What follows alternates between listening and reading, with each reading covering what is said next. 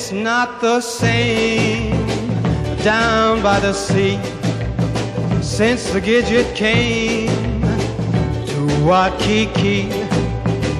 You'll hear the native boys all sighing way down on Maunalua Bay. Cause when the Gidget goes Hawaiian, she goes Hawaiian all the way, all the way.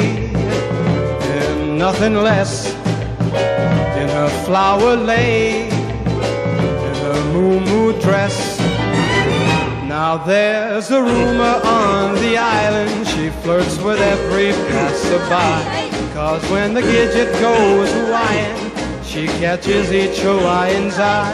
Hawaiian eye, Hawaiian eye, all open wide. all open wide. She has the guy all goo goo eyed.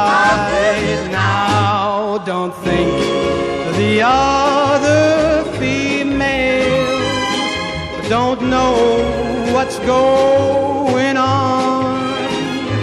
Man, there won't be many free males until the day she's gone. In other words, there's no denying she's really made the island stir. Now that the Gidget's gone Hawaiian, the island's really gone for her.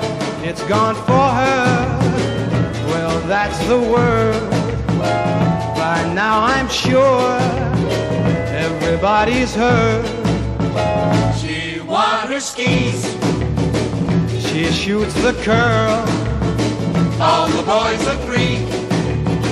that she's quite a girl. Well, long as they agree, that suits me fine. Doesn't worry me, cause that Gidget's mine. The Gidget's mine. She is mine, all mine. She belongs to me.